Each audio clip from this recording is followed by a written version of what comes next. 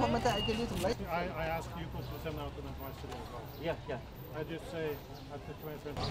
It is with um, regret that we have announced that Yeng Sari passed away this morning at 8.45 here at the Khmer Soviet Friendship Hospital. Uh, we understand that many probably are disappointed uh, with the fact that we cannot complete the proceedings against Yeng Sari uh, and therefore we cannot uh, determine um, whether the guilt or innocence of the charges uh, brought against him. It is, however, important to not remember that case 002 is not over. Uh, the charges against Nunchia and Q Sampan are not affected by the death of Yang Sari. So the proceedings in case 002 against Nunchia and Q Sampan will continue.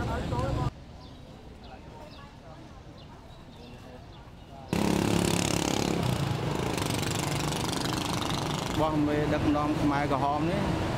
អឺយើងជាជាជនខ្មែរហ្នឹងគឺថាមានការសោកស្ដាយមួយយ៉ាងដោយថាយើងសពថ្ងៃកំពុងតែបើកសវនាការកាត់ទោសរឿងខ្មែរក្រហមដែលកន្លងមកគាត់បានធ្វើការដឹកនាំប្រទេសយើងរយៈពេល3ឆ្នាំ8ខែហ្នឹងគឺថាមានភាពសោកសៅសង្រោកសង្រេងសម្បើមណាស់ព្រោះមានបែកបាក់កូនចៅមានស្លាប់ឪពុកម្ដាយបងប្អូនមីមីអី សឹងតែគ្រប់គ្នាអ្នកខ្លះមាននៅសល់បន្សល់ជំងឺជាប់ខ្លួនរហូតដល់សពថ្ងៃដូច្នេះមិនថាបើយើងបានកាត់ទោសហើយមិនថាបានអស់ចិត្តទេប៉ុន្តែសពថ្ងៃវានៅយើងធ្វើការកាត់ទោសមិនទាន់ចប់សពគ្រប់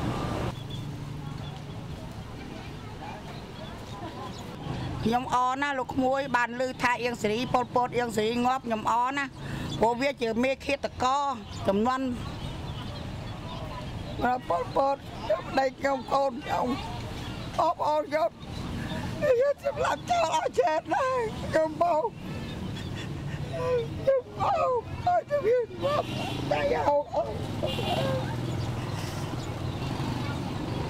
នខ្ញុំទៅដល់យកទៅ